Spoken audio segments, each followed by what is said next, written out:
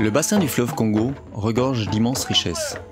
Ces écosystèmes sont uniques au monde et jouent un rôle majeur dans le climat de la région et de la planète.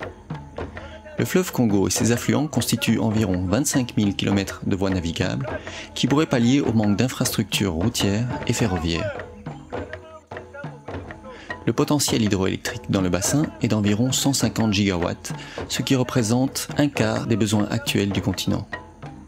Enfin, les eaux sont utiles à toutes les activités humaines, que ce soit l'approvisionnement en eau potable, l'agriculture, la pêche, les mines ou l'industrie.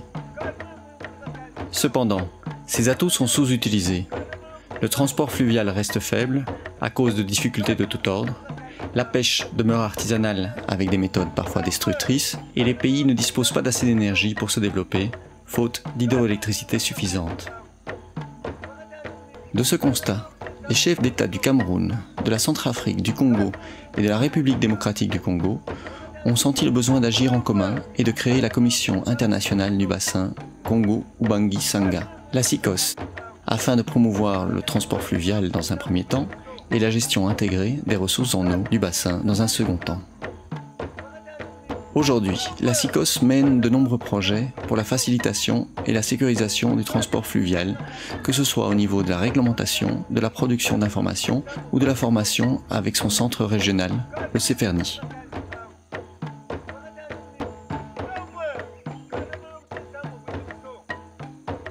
La SICOS œuvre à la réhabilitation des réseaux de mesure hydrologique des cours d'eau et élabore également un modèle pour comprendre comment la pluie se transforme en débit, comment ce débit est utilisé par les hommes et quels peuvent être les impacts de nouveaux barrages et des changements climatiques sur l'eau et ses usages. La SICOS élabore aussi une grande étude pour définir comment l'eau doit être utilisée ou préservée dans le bassin du Congo.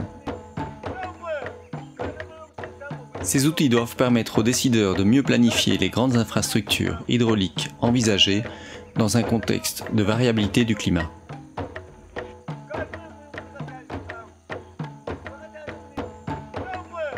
La SICOS attache une volonté d'associer tous les acteurs de l'eau, étatiques ou non étatiques, afin d'être au plus près des besoins réels des populations et de favoriser le dialogue entre les usagers pour un partage équitable des ressources en eau.